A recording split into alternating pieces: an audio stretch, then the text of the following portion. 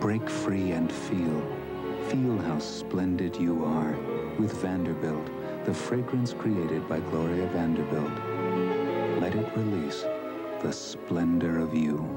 Vanderbilt.